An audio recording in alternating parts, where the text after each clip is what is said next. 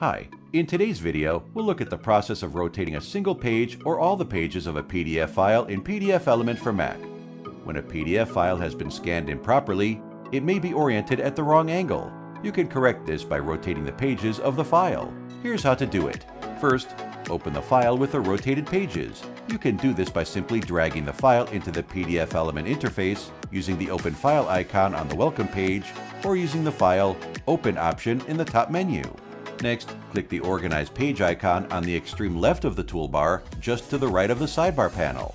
In the thumbnail view that is displayed on your screen, click the Rotate button in the toolbar. On the right, set the rotation parameters, such as the page range and the type of pages to be selected. Finally, click the Rotate Right or Rotate Left button at the bottom of the sidebar and then click Close. You can now exit the Organize Pages view by clicking the back button on the extreme left of the toolbar.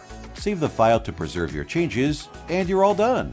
Thanks for watching, and please search YouTube for PDF Element to see hundreds of other videos. You can click on the link in the description below to download a free trial of PDF Element. If you found this video useful, please hit like, and don't forget to subscribe to our channel for more awesome content.